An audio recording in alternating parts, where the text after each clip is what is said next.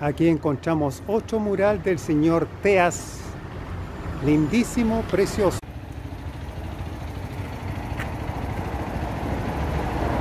Ese último mural que vimos es el señor Rojas Vuelas.